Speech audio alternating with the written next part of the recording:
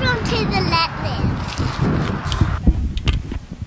Watch the weeds and tell me if you see any any animals or birds moving in them because you can look very, very closely. There's a tiger. It's coming this way.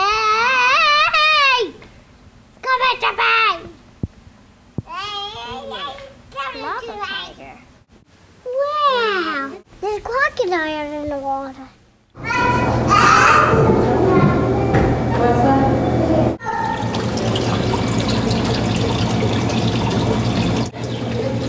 Where did he go now? Where's he going? He's going to see if Luxury's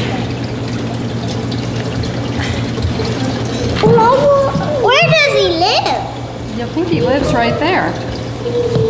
These are all diamondback terrapins. Are, are they indigenous to this They're the only reptile that lives in the salt marsh. Oh, he's climbing back on the rock.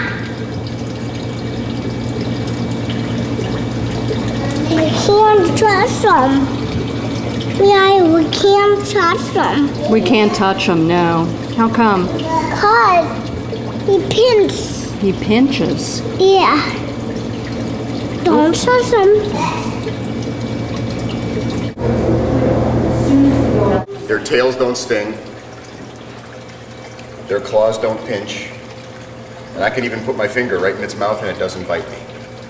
So they're really pretty friendly.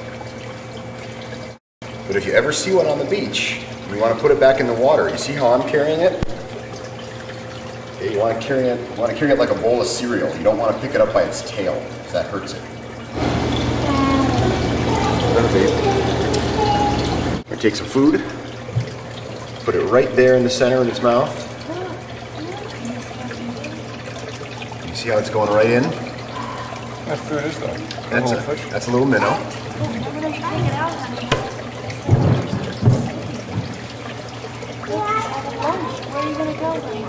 That's it. Okay, you want to try the next one? Got to aim a little bit better. Try again. You got to put it right there in the middle. That's the spot.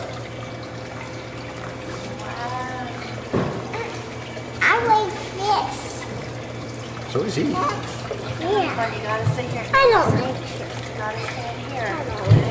Then I go, I want to go in there. You want to go in there? Yeah, it's fine.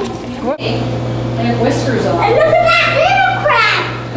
Yeah, come here. There's another crab. Yeah, yeah. What?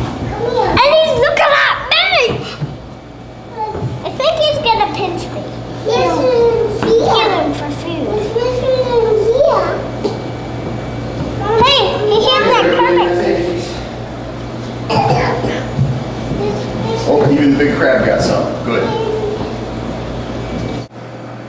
No, now we're going to have to go home. Oh, look at that. Cool.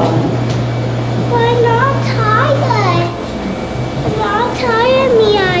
No. But we have to get going. We've been out too long.